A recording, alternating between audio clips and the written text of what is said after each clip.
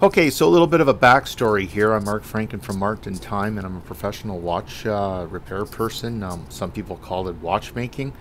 So this is the first time that I decided to do a uh, teardown on a watch um, uh, while filming. So you have to understand that um, I take watchmaking very, very seriously and repairs. Um, when I'm repairing somebody else's watch, it's a timepiece that they love, of course, and um, I do my best to make sure that the uh, end result, uh, like a watch restoration, is done perfectly. So the funny thing about this video is that I've never done one behind a camera, and I look like an absolute asshat working here. This is a film for basically humor. Trying to video and then work on a watch at the same time. Um, I usually I'm using either a loupe or a uh, set of um, magnified goggles that um, brings the watch really close to my eyesight, so I'll be able to work with uh, precision. So working without anything um, and then trying to go through my uh, through the camera is absolutely asinine. It's it's a complete joke here, um, and so I found this video to be uh, extremely amusing. So for fellow watchmakers out there, if you want to see a professional trying to do something for the first time, it felt like literally the first time I worked on a watch years ago. It is it is it's hilarious. Um, so I just removed the uh, balance complete out of this watch, and usually I pick up the uh, balance wheel at the same time as the bridge, but I just kind of like yanked it out because again, um, yeah, it, it, was it was just trying to see something um, through the camera is so completely different, and uh, now I decided I was going to start working on the keyless. I was going to remove the um, spring here Oh, nope, nope, nope. Putting the uh, winder back in, you had to take tension off of the. Uh, and this is what happens when you're when you're when you're split focus. Usually, when I'm focused working on a watch, I I have a set way of doing something, and um, here I got this camera just kind of like sitting right in front of me. Um, one of the first things I do, um, I remove the. Um, I, I will remove the balance complete, and then I take tension off of the mainspring. So all of a sudden, I decided, oh crap, I forgot to do that. So here we go. I'm just setting up my uh, vise here to. Um, so this here I was doing with a little bit of professionalism, and then uh, again there's the little click, tiny, tiny, tiny. I'm trying to do this while looking through a camera, fumbling along.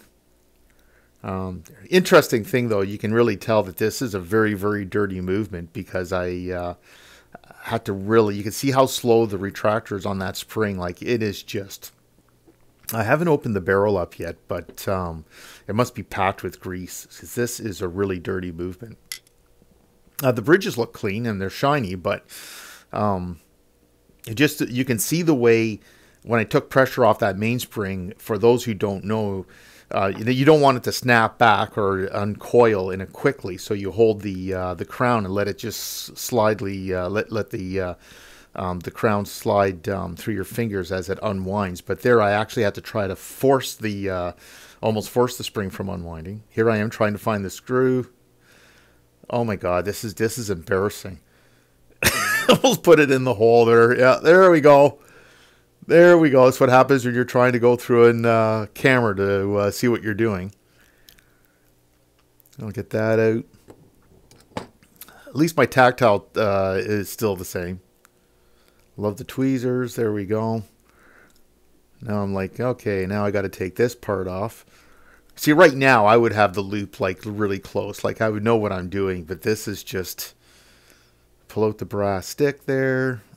And yeah, I miss all the parts that I'm trying to disconnect. And try it that way. Oh, let's push on the wheel a little bit there. Oh my god. There we go. That came out. And now what am I doing? Oh man. Oh man. And then trying to do this just so I know there's a spring there, okay? You have to understand. So there's the setting lever. I know there's a spring there, and I don't want to lose the spring because, man, it, it, fellow watchmakers and repair people, you know what it's like to try to find these damn springs on the floor. um, when they zip off. And I tell you, for those who don't know, these things can go quite a distance when they spring out of the uh, out of the main plate. So here I am trying to loosen that spring up to be able to try to catch it before it takes off. That actually worked. I'm surprised. Uh, actually, I don't even think I know that the spring is off yet. I'm still trying to pin something down that's not even there. Now I think I realize, hey, there's the spring. There we go. So that's removed. I'll try to get the setting lever out. Okay. Oh man. So now you see, if I if I had my loupe and I was looking, I could see, oh, that's got to come straight up, right? Like I could work that straight up. But trying to do something from a distance without wearing glasses, without any kind of an uh, visual aid, I'm just now I, am a newbie at this point here. I'm just fiddling with this thing, just trying to pry this thing up. Like, what the hell? Like, let go. Let go. And of course, I'm trying to make it look professional at the time. Like, this was supposed to be a tutorial. Like, that's what this video was uh, going to be. I was going to see if I can maybe do... Oh, it's gone now. I was going to do some kind of a tutorial and show people how I take something apart. So I'm trying to make this as professional as possible. Decided I'd go back and try to edit, but there's so many mistakes it's yeah, I don't even know where to begin. I don't even know where to begin. Uh, yeah, dumbass, that's still screwed into place. Yeah, you got to unscrew that from the other side. Yep, there we go. There we go. So that's out, that's out. Yeah, I got most of the keyless out.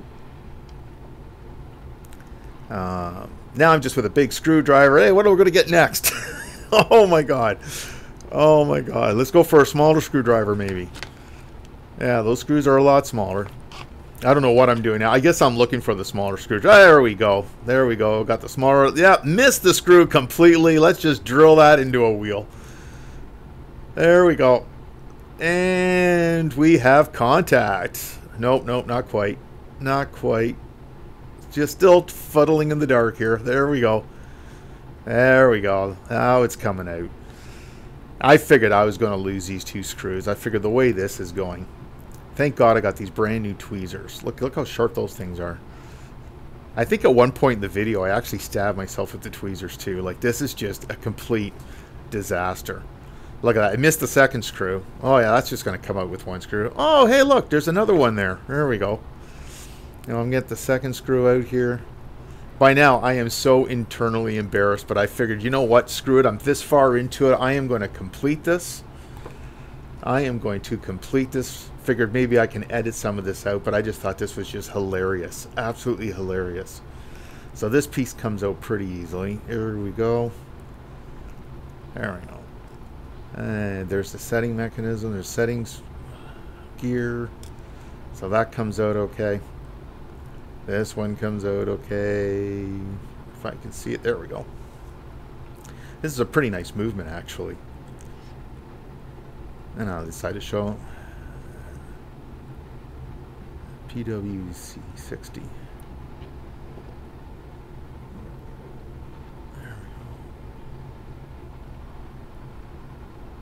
Comes out. That actually came out really easy. I figured that would be um, a bit of a harder thing to remove. I still kind of figuring out where the jewel caps. Oh yeah, that's right. That fell out of my. Uh... Come on. Pick that up. keep missing because I'm trying to do this looking through the camera, right? So uh, the depth perception is completely gone. So I think I'm like close to being able to pick it up, and I just miss it completely. Just miss it completely. By the way, I'm just using bare hands um, while doing this because um, right now, right after this disassembly, the movement went into a cleaner. So I've mentioned quite often about leaving oils onto the metal, but um, like I said, I was just taking this apart and it's going to go right into the cleaner. Um, thankfully, I didn't lose any parts doing this. Uh, well, I don't really lose parts. I just usually spend a long time on the floor with a high-powered uh, flashlight trying to find the parts. But um, although I have to admit, I haven't uh, lost a part in a while. There we go. Look at that. Yeah, how well am I going to approach this disaster? I think at this point, there we go. I'm going to remove the... Oh, this is hilarious. Yeah. So I use one of these nylon. Um, so without, if you're trying to remove an um, the winding wheel, right? So the barrel wheel, uh, if it's not held in place, oh, there goes the barrel wheel with the uh, And you know what the funny thing was? What was going through my mind is, where the hell did that go? Where did that go? I just unlocked it. Where did it go? Stuck to the uh, nylon stick. Lovely. Take a look at that. A lot of scratching in there too. Eh? You can see there's an, um, a lot of scratching on the inside of that wheel. I just really find that interesting. What? All the teeth were there though sometimes if people overwind it, what they do is they don't break the barrel; they actually snap the teeth off of the uh, off that wheel. Now these screws here, for those don't know, you have to screw backwards on these ones. Eh? Some um, some movements, the um, that screw that I just removed has uh, four lines on it, four to five lines on it, and basically it's an indication that you have to um, wind it backwards to uh, uh, loosen it and tighten it. So this one comes off. It is so hard to do this, I tell you, without being able to use um, a loupe. That's in good shape too. I'm still using the camera as a magnifier at this point. That's why I'm trying to take a look at it. I'm not actually showing um, the wheel itself. I'm just looking at it for my own personal. There's the collar that just came off. Um, I was just actually looking at to see if there was any damage done to the, those wheels. No damage done to the plates at all. It's actually the, the look of the movement actually looks pretty clean, but there's a couple of telltale signs that this has not been serviced in a long time. And I'm still, and I've mentioned this. If you see my other videos, I've mentioned this before. It is missing the jewel caps, uh, which I find really interesting. I don't know where something like that would have gone. Um, maybe lost screws. Uh, sometimes if you like the screws for these jewel caps are absolutely tiny. Don't ask me what I was doing there, why it was taking so long to get tweezers. Probably that's where I stabbed myself with them. Come on. There we go. You have to understand that when I'm doing this without a camera in front of me, this just takes me, it takes me like five minutes to strip a watch down. Like I, it, it doesn't take me long at all. But doing this behind the camera is, it's just absolutely, I can't believe how much of an tomfoolery that goes on trying to do this. I don't know how other other guys do it. I've, obviously, they must have the, although it looks like the right angle to me. Now here you're going to see me chiseling along with a screwdriver. Um, what happens is some of these bridge plates, there's a little notch that you can slip a screwdriver into to pop it up off the main plate. Um, and I was trying to find that. So here I am just fiddling around here with the screwdriver. Okay, where's that notch? Nope, not there, not there. Finally I give up, just go right to the edge. There we go. I'll pop it off that way. I am worried about the pivots though. This is not the proper way to do this because what you can do is quite easily snap a pivot off one of the wheels, but that didn't happen thankfully. I got two other. This is a really interesting design for this movement actually. Um, I'll show you in a second instead of the bridge holding all the train of wheels in place, it actually, there's a few internal bridges, which I find extremely fascinating. I've come across this before, but it's, it really is a well-designed and very rugged built movement. That's a beautiful wheel, actually. That is really nice. So now you can see like an internal plate, like a smaller... Come on, buddy. Get. There we go. Um, if you look dead center, there's kind of an internal bridge that holds the rest of the wheels down, which I find extremely interesting. But it does make for a very, very sturdy movement. Um, this would take quite a bit of an impact to knock this thing out of whack. So what am I going for now? Oh, I'm going to take this plate off. No, I'm going to take the... I should be taking the click off right about now. I don't know what I'm doing there. I can't recall. Did I take the click off next? I know one thing. I'm looking at this going, this is silly. There we go. Let's go for the click.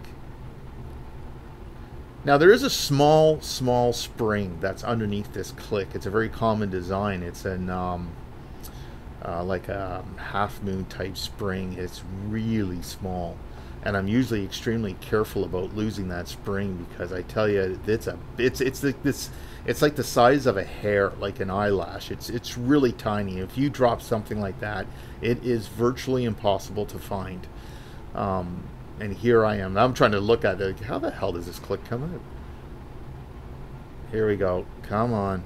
And this is you right now. Like if if I didn't have a camera, if I was removing a click like this, I would have another tool in place to see if that spring doesn't shoot off. Oh, lost the click as well. There we go. There, and at least I didn't lose that. Now, there you see that tiny... Help, let's move that out of the way. Oh, I'm just going to show the click here. Come on, focus. There we go. So that's the click. Small little piece.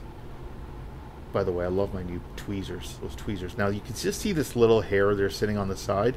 That is the spring. I am so shocked that I didn't lose that. There we go. So that's removed. Now I think I'm going to go for the outer bridge. Yep, there we go. So that's the barrel bridge that I'm removing now. And there's another screw in here too that I forgot, which I'm, again, really embarrassing. Come on, get this one out. These screws are easy. Beautifully designed movement though. Absolutely really nicely designed movement. It's going to be a pleasure to clean it and um, I'm looking forward to the polishing process and putting it back together. Uh, I think now I'm starting to realize that I'm forgetting something. Uh, it's not going to come off, is it?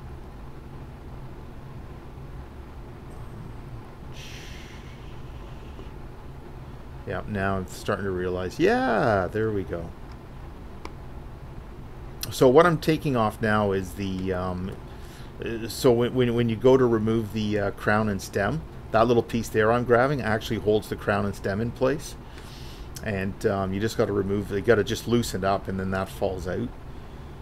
And take this bridge off.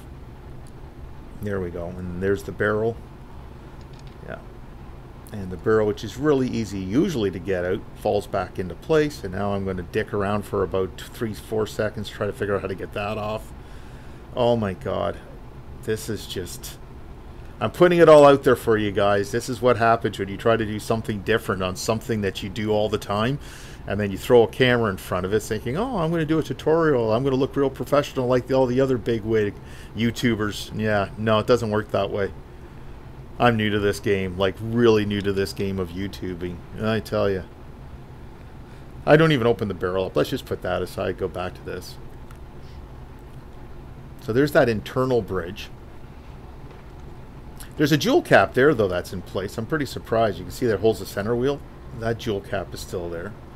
I'm really surprised that the other jewel caps are missing. I'm really curious about that. Oh, let's just slide all over the place here. Oh, we'll slide again. That one. Oh, the nice thing about doing a video like this, I don't have to uh, use a reference to try to put it back together. I have everything uh, right on camera. And that's going to come out. This is an interesting piece. For those who are just watching, this is not a common thing to have an internal bridge like this, but I tell you, it does make the movement rugged. A very interesting design. That, that's what I'm pointing there. That's the internal, uh, that's a jewel cap there that's actually in place. This is a bugger to get off this thing. You can really tell about the precision of when they, how they build these. Yeah, now I'm doing it properly. Just comes straight from the top. Um, and then we got the center wheel. We got the escapement wheel comes out really easily. Put that aside. Center wheel is actually locked in up underneath the um, pallet fork bridge. That was actually really interesting. So I'm about to take the pallet fork bridge out. Um, I would have noticed that right away if I was just using a loupe that I would have had to take the pallet fork bridge out first. But again, I know this is going to sound like a broken record, but being behind a camera trying to do this, um, it, uh, yeah, I, you just can't see anything. That's, I'm surprised I didn't lose any screws, like I didn't have to search all over the place for these screws. Thank goodness that I have a brand new pair of tweezers. I got that one out. Now this really kind of scared me, so I Oh, there goes one screw. Luckily, it didn't go too far. Landed on my mat. Um, I love these mats, by the way. That mat, if you can see how grainy it is, um, it uh, anything like a screw doesn't go skidding across a table, it will literally stop instantly. So this bridge is on pretty tight, and I get a little bit of a panic because I get the bridge off, and the pallet fork goes with it. So there's the bridge, and the pallet fork is stuck to the bridge. And when I turned it over, now you don't see this, I might be off camera, but it looked like I snapped um, the pivot on the pallet fork. Um, I'm very careful of this piece. The pallet fork is one of the more um, fragile pieces. The, like you have had the balance wheel and the hairspring is really fragile. The pallet fork pins are really, really fragile. Um, also, especially with the pallet fork that has the jewels. Okay, I just put those away. But I thought I snapped the end off of the pallet fork, um, the, one of the pivots. But what it was is this watch is built for like, like a G-Shock for crying out loud. The pivot is this really big, flat, chunky piece. And if you could see the jewel where the where that pallet fork goes into, it's a massive hole in that jewel. I'm pointing at it right there. And I think that's the reason why I was pointing at that jewel. Again, maybe trying to keep a little bit of a tutorial on this um, as a training video. But that um, that jewel is really wide. And then it all of a sudden dawned on me that that pallet fork actually sits, has a very big, big, big pivot. So I didn't break the end of it off. It's just a really large pivot. So at this point, I'm laughing my ass off. Like I am, like literally, I'm, I'm just like shaking my head, going, "This is embarrassing." But um, yeah, you can really see that jewel. You can see how large that hole is on that one, uh, that one uh, jewel there, and that's what the pallet fork sits in. So there it is. It's completely stripped down movement, and I think this is pretty much the end of this video. Hope you enjoyed. Please like and subscribe. Have a good night.